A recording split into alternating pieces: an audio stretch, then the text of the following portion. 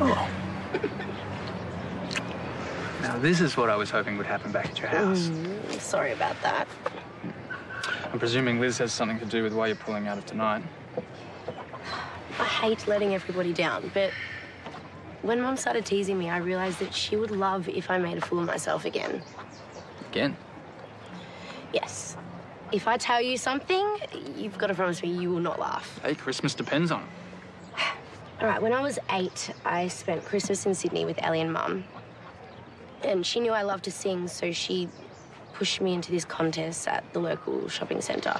Okay. It was a disaster. I started to sing Oh Holy Night, and I froze, and then I wet myself.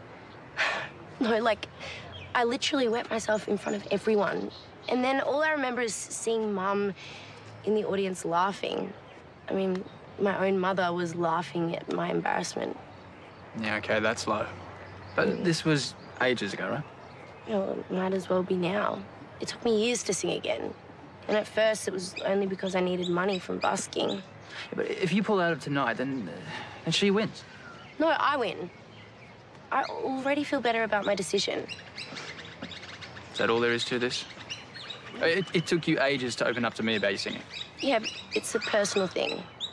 So it has nothing to do with you maybe being scared and using your mum as an excuse. It's just a question. Oh, I hate you sometimes. Look, you want to do something more with your singing, and I think that you do. But you're going to have to conquer your fear sooner or later.